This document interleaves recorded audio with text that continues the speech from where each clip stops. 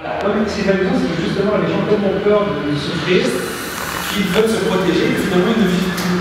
Alors je ne pense pas, c'est une hypothèse, je suis pas sûr de ce que je dis. Je pense pas que c'est là, j'ai pensé à ça. Au début, je croyais que c'était ça. On a peur de vivre des choses fortes et donc on va tout mettre en virtuel. En fait, c'est pas ça. Euh, je pense que c'est plus profond.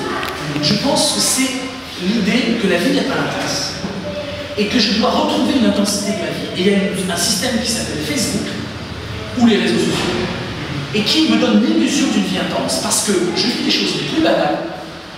J'ai mal au ventre, c'est banal. Et je l'affiche sur ces réseaux sociaux et je vois plein de commentaires. Les gens vont commenter Oh, t'as mal au ventre, mon bichounet, oh, t'as mal au ventre, prends une aspirine, oh, t'as mal au ventre, tu sais, ça m'est arrivé la semaine dernière.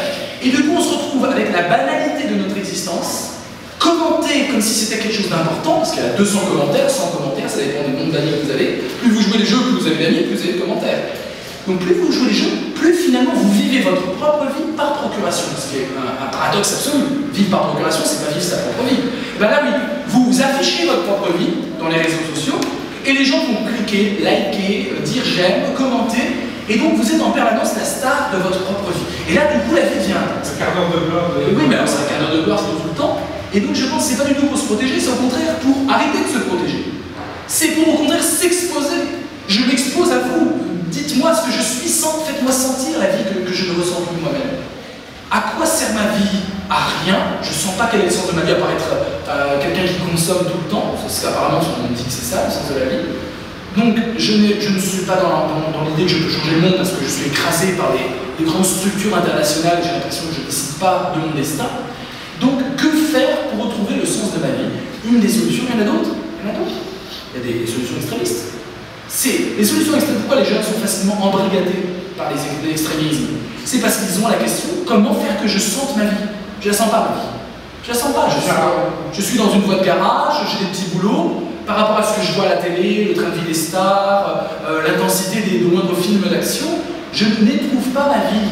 Et pour peu que je sois un peu dans les jeux vidéo, tout ça, l'émotion c'est compliqué, j'arrive même pas à gérer mes émotions pour éprouver des pleines émotions d'amour, d'amitié profonde. J'ai pas été peut-être éduqué à cette émotion, j'ai peur, je me protège. Et donc du coup, je cherche une cause. Quelle que soit la cause, la cause on s'en fiche. La cause ça peut être, regardez l'affaire Mera en France. L'affaire Mohamed Mera, ce drame. On avait un petit gamin euh, qui, était, qui était éduqué comme il était, qui voulait servir sur les drapeaux, qui a voulu s'engager dans l'armée pour défendre la France, parce que ça donne une cause. Vous savez, le slogan de l'armée terre, deviens ce que tu es, c'est Nietzsche, c'est le mot Nietzsche. Ils ont pris le mot de Nietzsche pour dire, voilà, si tu vas dans l'armée, tu t'engages pour la patrie. Mais l'idée, c'est toujours la même chose.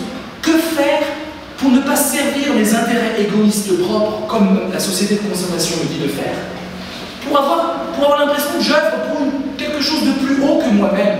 Que faire pour sortir de mon nombril que faire pour sortir de mon ego Que faire pour sortir de mon image et pour dire oui, je, travaille, mais je trouve ma dignité parce que je travaille pour une, cause, quelle que soit la cause. C'est ça qui est terrible avec cette affaire. C'est que quelle que soit la cause, je suis dans le marché des causes qui intensifient la vie.